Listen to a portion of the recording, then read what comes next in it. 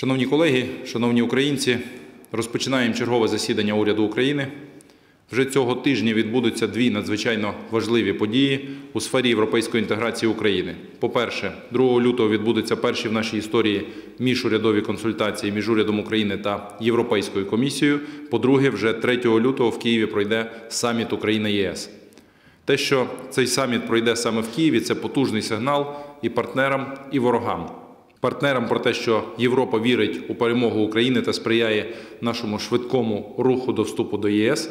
Ворогам це сигнал про марність їх зусиль внести розбрат у коаліцію підтримки України та зупинити нашу євроатлантичну інтеграцію. Насамперед, від саміту ми очікуємо проміжної позитивної оцінки наших євроінтеграційних зусиль. Ми хочемо сформувати детальну дорожню карту, яка максимально дасть нам розуміння, як успішно пройти євроінтеграційний шлях від оцінки роботи, яку ми провели після отримання статусу кандидата, до початку предметних переговорів про вступ України до Європейського Союзу. Крім цього, на порядку денному саміту України ЄС будуть питання секторальної інтеграції української економіки до європейського простору. Зокрема, для нас принципово важливо отримати довгостроковий доступ усіх українських товарів до ринку ЄС без квот і без мит.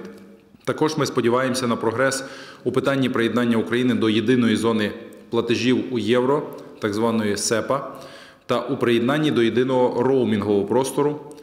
У нашій адженді залишається і питання промислового безвізу. Важливими також будуть дискусії щодо фінансової допомоги Україні для швидкої відбудови енергетики, інфраструктури, пошкодженого житла, адже це наші пріоритети на 2023 рік. Особливо що стосується енергетики та енергоефективності. Вчора в Україні стартувала масштабна програма обміну старих ламп розжарювання на led лампи Це ініціатива президента Володимира Зеленського підтримана Європейським Союзом. 30 мільйонів таких ламп вже закуплені ЄС. Ще 5 мільйонів очікуємо від Франції. Дякуємо нашим партнерам за підтримку. Нагадаю, що попередню заявку на обмін можна подати через дію або просто обміняти старі лампи на нові у відділеннях Укрпошти. Українці замовили на обмін уже понад 300 тисяч енергощадних ламп через дію. Тому ми впевнені, що програма буде успішною. Щодо сьогоднішнього порядку денного, маємо рішення, яке стосується дерегуляції та покращення бізнес-клімату в Україні. Уряд створив міжвідомчу робочу групу з питань прискореної дерегуляції.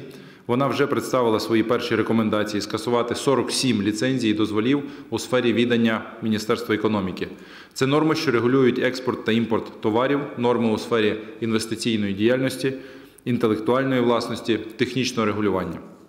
Сьогодні ухвалюємо розпорядження, яким вносимо зміни до плану заходів щодо дерегуляції та покращення бізнес-клімату. Додамо понад 30 позицій, за якими відбудуться спрощення. Це стосується адміністративних процедур, транспорту, логістики та IT, медицини та соцсфери, нафтогазового сектору та екології, агропромислового комплексу. Урядові рішення на виконання цього плану будуть ухвалюватись протягом усього 2023 року. Також сьогодні уряд схвалить зміни до законопроекту про оцінку впливу на довкілля. Цими змінами ми прагнемо оптимізувати процедуру. По-перше, вона буде повністю переведена у цифровий формат. По-друге, суттєво скоротяться строки проходження цієї процедури. І третє, ми прибираємо дискреційні повноваження при прийнятті рішення, тобто прибираємо можливості для зловживань чиновників. Ми впевнені, що бізнес позитивно оцінить дані зміни.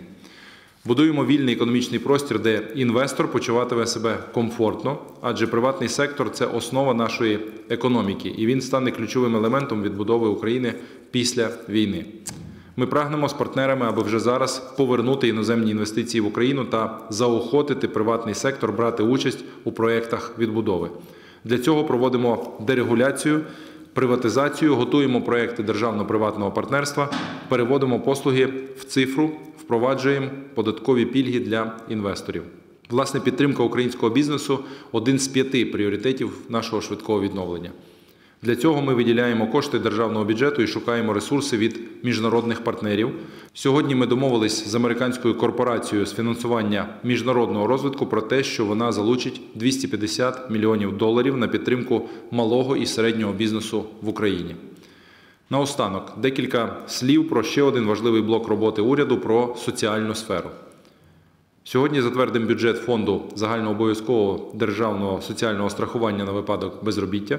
Його видатки складуть майже 17 мільярдів гривень. Це кошти на виплати безробітним, на компенсації роботодавцям за працевлаштування ВПО, на компенсації по частковому безробіттю, на мікрогранти для малих підприємців. Минулого року ми в повному обсязі профінансували всі соціальні видатки. Цьогоріч також виконуємо всі наші зобов'язання. Працюємо далі, зміцнюємо український фронт і український тил, наближаємо перемогу. Дякую за увагу. Слава Україні!